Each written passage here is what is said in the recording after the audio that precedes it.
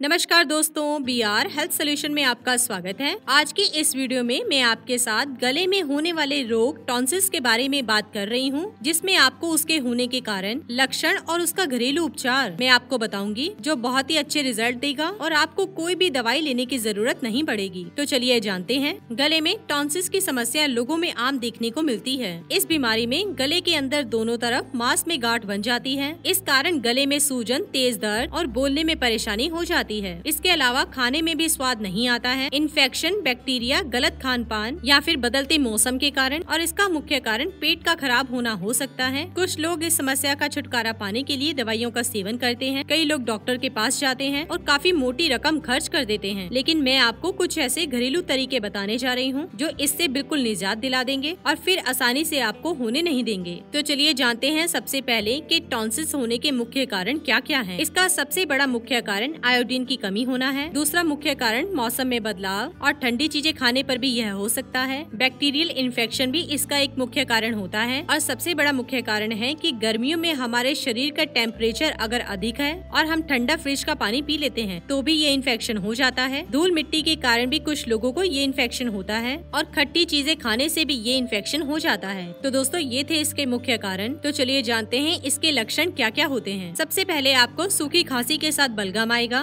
दूसरा बुखार के साथ कपकपी भी आ सकती है। सांसों में बदबू, अंदर से गले का लाल होना और कोई भी चीज़ निगलने में परेशानी होना और दर्द भी होना, आवाज़ में भारीपन होना और खाने पीने में बहुत ज़्यादा तेज दर्द होना। ये इसके मुख्य लक्षण है। चलिए जानते हैं इसके घरेलू उपचारों के बारे में। तो सबसे पहला उपाय है काली मिर्च। इस समस्या का उपाय करने के लिए तो सबसे पहले काली मिर्च और तुलसी के पत्तों को उबालकर उसका काढ़ा बना लें और रात को सोने से पहले उसे दूध में डालकर पी जाएँ। और सुबह उठने पर आपका दर्द काफ़ी हद तक कम होगा। दूसरा है शहद और दालचीनी। दोस्तों, शहद और दालचीनी दोनों ही एंटीबैक्टीरियल हैं। दालचीनी पाउडर और शहद को मिलाकर दिन में तीन बार सेवन करें। इससे टॉन्सिस की समस्या दो या चार दिन में दूर हो जाएगी। तीसरा है हल्दी। दोस्तों, हल्दी में काली मिर्च, काला नमक डालकर, पानी में डालकर उसको उबाल लें। इसके बाद इस पानी को किसी बर्तन में रख लें और दिन में तीन से चार बार इसके गरारे करें, जिससे यह इन्फेक्शन बहुत ही जल्दी ठीक हो जाता है। चौथा है हर्बल चाय ग्रीन टी में लौंग, इलायची और दालचीनी मिलाकर इसे पीने से गले में जमे